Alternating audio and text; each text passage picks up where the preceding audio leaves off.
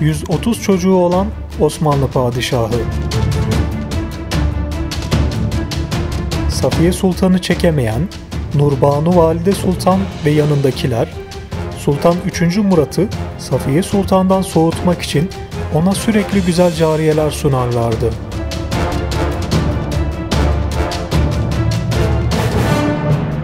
Bu yüzden 3. Murat'ın 40'ı geçen Hasekisi ve bu Hasekilerden de yüzü aşkın çocuğu olmuştur.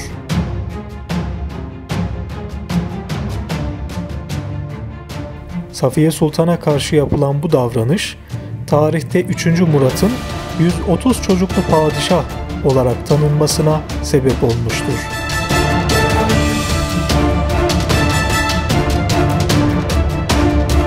Sultan Murat bunca kadına rağmen Safiye'ye olan sevgisini yitirmemiştir.